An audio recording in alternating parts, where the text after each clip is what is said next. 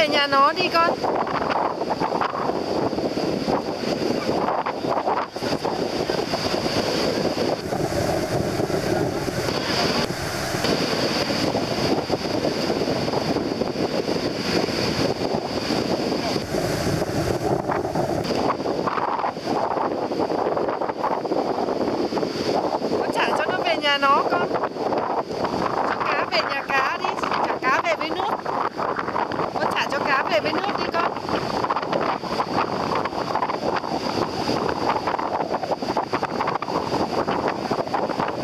nhà của cá con trả cho cá về với nước đi.